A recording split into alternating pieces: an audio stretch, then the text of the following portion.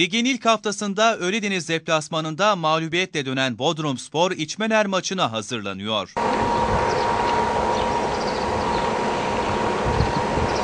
Ortakent Yahşi Bilal Şahin stadında çalışmalarını sürdüren takımın antrenörleri Tayfan Kıran, Cem Şaşmaz ilk hafta yaşanan mağlubiyetin iş kazası olduğunu ifade ettiler.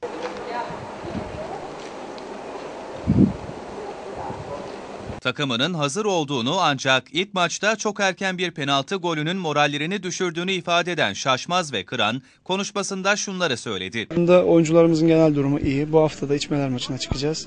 Birkaç sakat ve hasta oyuncumuz var. Onların da tedavilerine devam ediyoruz. Onları da oynayacak seviyeye bu hafta getireceğiz inşallah. Bu hafta içmeler maçında yine dop dolu mücadele gücümüz yüksek. iş- iştahlı, arzulu bir oyun sergilemeye çalışacağız. İlk maç e, bir kazaydı bizim için. E, Hiç beklemediğimiz bir mağlubiyetti. Yani ilk 7. dakikada bir e, penaltı yememiz e, oyuncularımı çok etkiledi. E, Sanki ilk defa gol yiyormuşuz gibi bir telaşa kapıldılar. İstediğimiz oyunu oynayamadık. Bir türlü e, topu yere indirip o eski Bodrum Spor gibi pas yapmayı beceremedik. E, Topu hep ileriye attık.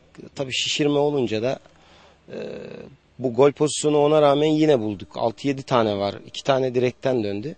Fakat şanssızlık.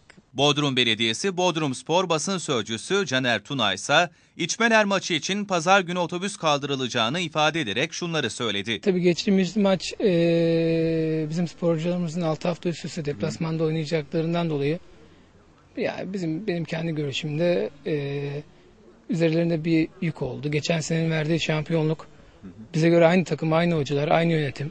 Geçen sene biz bu takımı şampiyon gördük. Bu sene de bu şampiyonluğa çok uzak değiliz. Kesinlikle biz bu takımı üst sıralarda, üst, eee, ligin üst bölgelerinde göreceğimize inanıyoruz. Yani geçen haftaki tabii olumsuzluk oldu. Öyle bir mağlubiyet hiç beklemiyorduk, hiç tahmin etmiyorduk. Böyle mağlubiyetler illaki olacak da puan kaybımız olacak. Biz geçen sene 7 puan kaybederek şampiyon olduk. Daha sezonun başı daha 12 maç oynayacağız. 12 maçın e, ilk 6 maçı dediğimiz gibi dışarıda. Yani bu, bu hafta içmelere gidiyoruz. E, takım çok iyi hazırlanıyor. Takım başından beri çok iyi hazırlanıyor. Yani geçen haftaki mağlubiyete bir mazeret bulamayız. Dediğimiz gibi ee, biz halen Bodrum'dan, Bodrum basınından, Bodrum halkından, Bodrum Spor'a tüm desteklerini vermesini bekliyoruz. Antrenmanı Caner Tuna ile birlikte yöneticilerden Hüseyin Gözü Tok'ta takip etti.